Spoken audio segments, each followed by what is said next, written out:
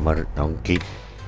Tässä kun on tää klassinen tilanne, että pelieurot on loppu, niin, niin tota, näytänpä teille nyt sen, sen, sen tilanteen, että mihinkä homma perustuu. Niin kuin tässäkin 20 kierrosta suurin voitto on 70 senttiä kyllä, eli millään, millään kierroksella te ette ole saanut edes omianne takaisin.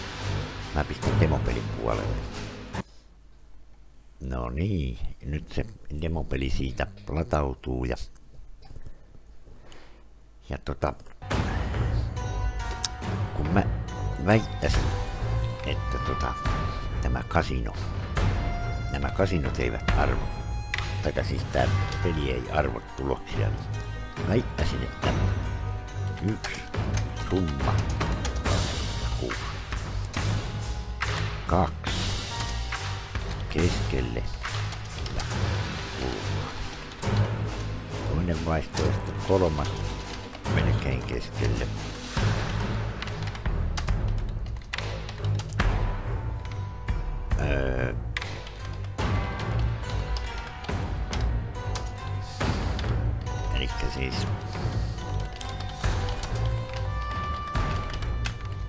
Tarkoittaa sitä, että jos, jos, tota,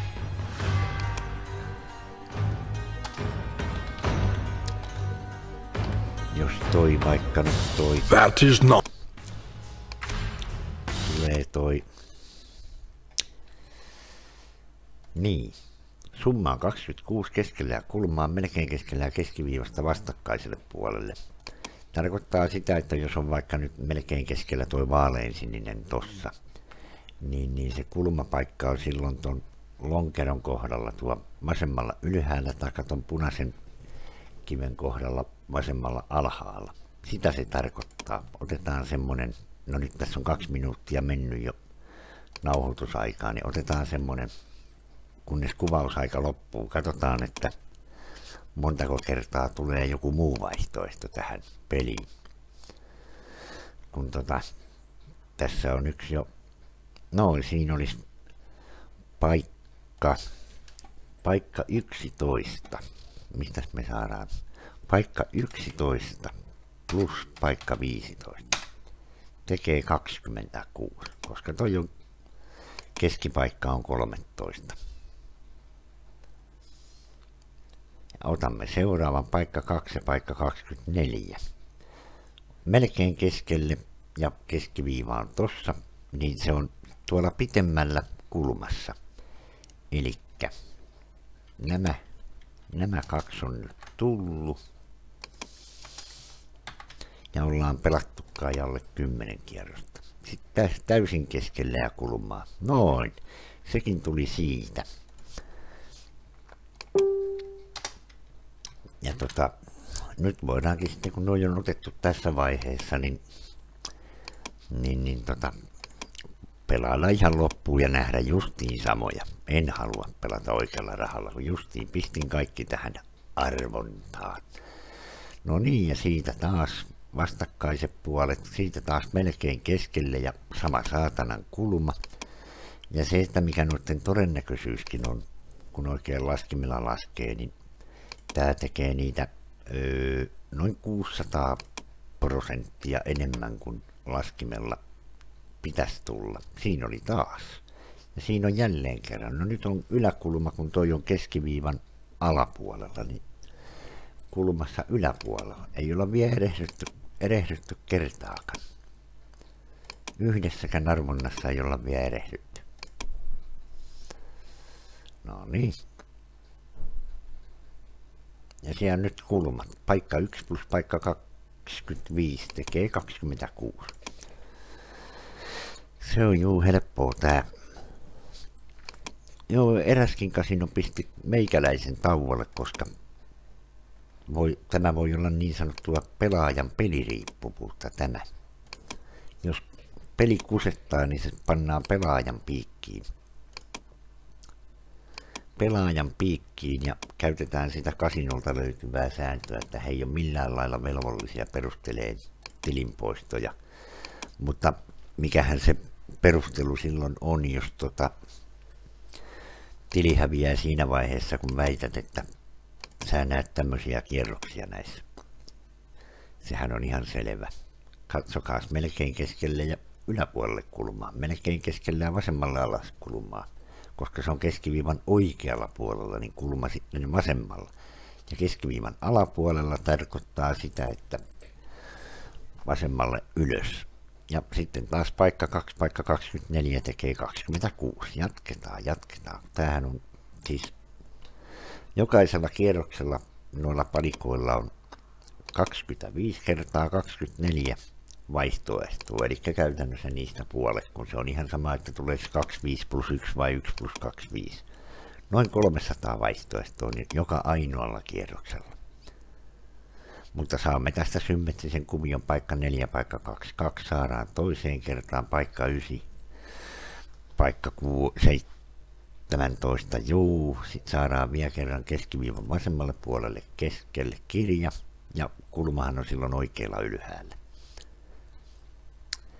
No niin, ja nyt päästään bonuspeliin. Tässä nähdään sitten monta, monta samanlaista arvontaa. Monta kertaa kirjat tulee samoihin paikkoihin. Eli tossa on kaksi tokamikarivillä, yksi tokarivillä ja yksi tuo kulmassa. Se jätti tuonne perkeleen kulmaan. Se sotkee tätä systeemiä heti. No nyt se lähtee sieltä onneksi. Neljä tollain. Tetris-kuvio. Tommonen toi on helppo muistaa. Vasemmalta ylhäältä on ainoa mikä puuttuu. Vilkkuu tuolla. Sillä saa hämähäkin.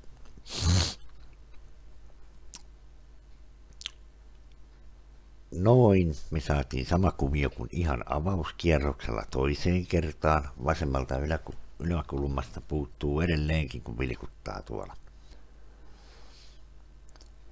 Ja se kirjahan jää paikalleen. No nyt tuli tommonen neljä kirjaa tollain. Ja jälleen toi kuvio, mikä nähtiin jo kerran. Neljä kirjaa tollain. Ja miettikää, tässä on 303 000 erilaista vaihtoehtoa sijoittaa noin neljä kirjaa, joten me saadaan Tetris-palikkakin jälleen kerran. Vasen ylä- yläkulma edelleen puuttuu. Ja jää puuttumaan, koska nolla kierrosta tuommoisia jäljellä. Näin. Minkähän takia hämähäkkiä ei tullut, kun arvonnat oli melkein kaikki identtisiä. No, no, no. Mennäänpäs nyt sitten vielä. Meillä on kaksi minuuttia aikaa. Otetaan vielä, vielä minuutti tota arvontoja, niin sanottuja arvontoja. Toi tota, kasinon sääntöihin kuuluu, että peli on lisenssoitu silloin, jos se on ihan vilpittömästi ennalta arvaamaton peli. Mutta tässä tapauksessa joka saatanan kierros on arvattu etukäteen. No nyt nähdään taas. Ei nähtykään. Miksi mä, lait, niin mä jätin hitaalle, että kerkiää noin laskee noin bonuspelijutut. Samanlaisia kuvioita niissä, vaan pelkkiä samanlaisia. Anna nyt joku kirja. En halua pelata oikealla rahalla, koska tällä tavalla ne kusetetaan sisään. Ja toi bonuspelin idea on justiinsa se, että se on se ainoa paikka, missä niin kuin noi palautusprosentit tulee. Tässä itse pelissä niitä ei tule. Sekin perustuu vain siihen, kun siellä on ne neljä kirjaa käytössä. Jos ne tulee Tetris palikan muotoon, niin siinähän on isoja yhdistelmiä monta.